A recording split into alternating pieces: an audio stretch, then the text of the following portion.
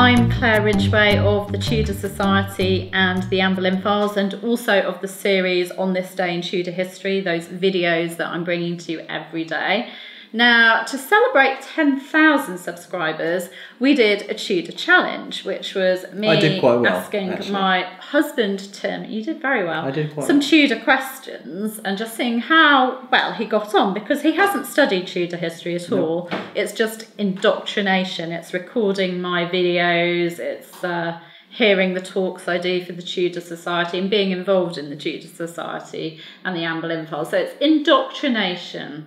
You're wearing the same thing as you wore last time, I think. I am, but But it's a different it's a different day. It really is a different day. So we're celebrating how many subscribers? Fifteen thousand. 15,000 subscribers with a bit of And the bell rings. Yay. Yay, the bell's always ringing.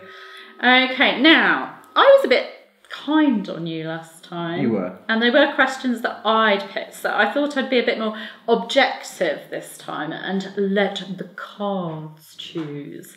So I've actually taken some questions from this game, which is called The Tudors. Uh, brain bites, gain brain cells in this quirky quiz. And Tim, you'll be glad to know that it's for 8 plus. I can. I'm So- qualified. I'm qualified. Yeah. So I've taken out some ones that were a little bit harder, and they're split into one brain cell, two brain cells, and three brain cells. And I'm actually going, I think, for mostly three brain cells, which are the harder ones. I'm not sure I have three brain Okay, cells. no, no. Thanks. So- So, are you ready? I'm ready. Are your brain cells yes, Tudor history. Okay. Henry VIII. Where is Henry VIII buried? Ooh, Windsor Castle. But do I have to say which? It wants Chapel? you to be. The Chapel of.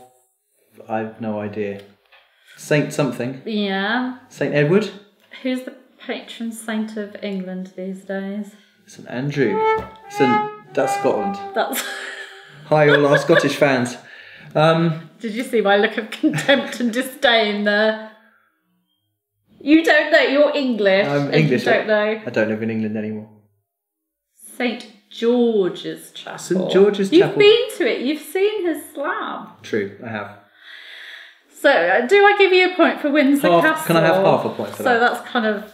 I'll put that there. It's not right or wrong. Okay, the Mary Rose. Okay, yep. Okay. Mm, I think you'd know that one, so I won't go for that one. Did the Mary Rose sink off the coast of Plymouth, Portsmouth, or Dover? That's a great question. Definitely not Dover. I'm going to go for Plymouth. No, Portsmouth. Portsmouth, because I saw your look. I saw your look. thinking it's really bad. We've been to the museum. I've been to the museum, yet seen the ship. You were lucky there that Portsmouth. I didn't go on your Portsmouth. first. So that's all right. one. Yay. Okay. These are harder. Sir Francis Drake. Okay. In which ship did Drake sail around the world? Well, it changed its name on the way. Oh, oh, you're going for a tricky one. I am, but that, of course, that's a bad idea because that means I. It actually, the, the answer they've chosen is what it was called when he renamed it. When he renamed it, it was renamed the Golden Hind, Okay. but before that was the Pelican. I'm stumped. Okay, well done. Okay, Mary the First. Okay. In which year did Mary's reign end? Oh, And obviously it ended with her death. yes. I'm trying to think of the Tudor Society mug now, which obviously I drink cups of coffee out of all the time, so I ought to know. 15, this is good. 53. Uh-uh. 1558. Oh, okay. She started her reign in 1553. Okay, well, there you go. So that was a definite wrong one. Okay, Tudor clothes. What was a peascod? Can you repeat the question? What was a peascod? Mm-hmm. Spelt P E A S C O D, all one word. I'm going to have to go for the fact that it's the same as a cod piece, which is obviously wrong because of what I'm getting from you. Uh, it's a doublet or a jacket. So you have a cod piece and a peascod. You do, yes. Okay. Okay, Tudor battles. Ooh, oh, those are too easy. Three brain cells definitely going for. Against whom was the Battle of Pinkie fought in 1547? I'm going to see how. how. Are we which two? Sorry, English English army versus the Scottish army. Oh, it's good. Well done. Okay. Famous Tudors. Shakespeare. Okay. Oh, this is really easy. Okay. For you, Which of Shakespeare's plays is traditionally not referred to by name? but can I refer to it?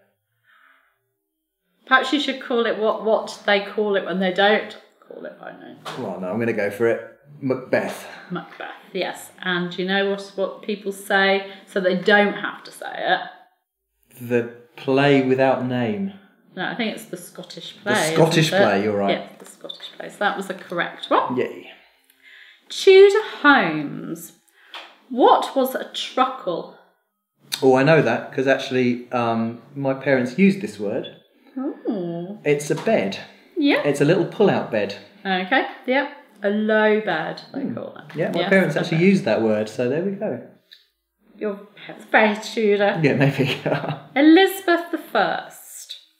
Where was Elizabeth buried? oh, did they move her? She's in. Oh yeah, it could be a trick question. It could be a trick question. Maybe it's not a trick question. She's now in Westminster Yes, Abbey. she was. She's always been in Westminster. Oh, she's not one of the ones that they moved because No. they've moved various people, didn't they? They have, And not her. but not her. Oh. No. So that was a correct one. Yep. Edward the Sixth. Oh, you'll know that one. You'll know that one. Hmm. For how many years did Edward reign? Dates and history are really bad for me. Which, of course, Well, I shouldn't can have said that you because now for the next no, one you're going to all the date questions. Yeah. How long did Edward Mm-hmm. reign for? Approximately. Uh, five years. Nearly. It's six. Henry VIII died in 1547, and Edward came to the throne then, and then Edward died in 1553. So I got that wrong. So, yes, that's a definite wrong. Okay. World events in Tudor times. Okay, who led the first successful voyage to circumnavigate the globe? People often get this one wrong. Well, we, oh, is it the, is it who we've already named? No, It's not who we've already named. no. Um, Magellan. Is that right? Do you know his first name though? No, not at all. Ferdinand. I would have gone for Frederick. So actually, that was quite close. Not bad. Oh yes. Yeah, that that's right. That was right. That was right. That was right. Okay, Henry VIII. Oh, we all know this one. How many of Henry VIII's wives were not English? How many were not English? Now you have to go through them in your head, don't I you? am, yeah. I can see it. I am. I can see the cogs. Two. Well done. Which two? Catherine of Aragon, who was Spanish, and Anne of Cleves, who It was Clevesish. from Cleves. Yes. Yes. Which is now in Germany. Yes. Okay, so you got that one right. Tudor music. Okay, I ought to Okay, do well as a on this. musician, you ought to probably do ought okay. to do well on this. What type of instrument was a virginal? Uh, it's like a little kind of harpsichordy piano thing. Good. And Elizabeth had one. A type of keyboard or piano. Yes, Yes, she had one with her mother's Falcon badge on. she I did. think. Very beautiful. Yeah. You got that one correct. Yeah. Okay. Tudor medicine. Ooh. Henry VIII devised many lotions and ointments designed to ease what? I have no idea.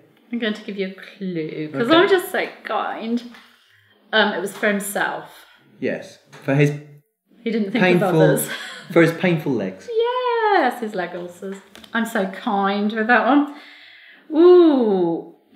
Was a longbow, this is Tudor weapons, was a longbow traditionally made of oak, yew, or pine? Definitely not pine. You. Brilliant. Yay. Well done. So, bonus question. Oh, no, more, more, not fair, fair. Oh, you'll know this one. This is an easy one. Tudor food. What was a trencher? A kind of a sandwich thing. No? No. No, you are you Bread that you eat your stew out of. Oh, I already said no, so I'm not giving you that. Okay. I'm not happy. It's not a sandwich. It was a piece of bread that you used as your kind of your plate or your bowl instead of having a plate. You had your bread. Okay. So let's see how they described it. A thick slice of bread used as a plate. So you're not having that one because I'm not kind anymore. Okay, so that was a wrong. So one, two, three, four, five, six, seven, eight, nine, ten, eleven correct, Wow. and a half. Eleven and a half. And then you got one, two, three, four wrong. I'm proud with that. That was really good. Not bad. So I'd love to know how you did or how your loved ones did because obviously if you're watching this video you probably know quite a lot about Tudor history but why not test your significant other uh, who might have been indoctrinated like Tim and just So we'll uh, put the questions- share yeah we'll put the questions underneath and you can share your scores and let me know how you got on. So I think we'll be doing um, another Tudor challenge at 20,000 subscribers. Lucky Yeah. me. well, I'm trying to think how we can get the children involved as well. We've got one son in Moscow, one daughter in Granada at university, and one one son at home. So, you know, can we do it by the wonders of technology? I suspect we probably can. Perhaps so. Perhaps that would be a good thing to do. Ooh. Can't really test the pets. That's a bit difficult. anyway, we'll be back with another Tudor challenge uh, at 20,000. Uh, to make sure that you see that, you might want to uh, subscribe to our channel and also hit the bell if you want to get notifications of new videos.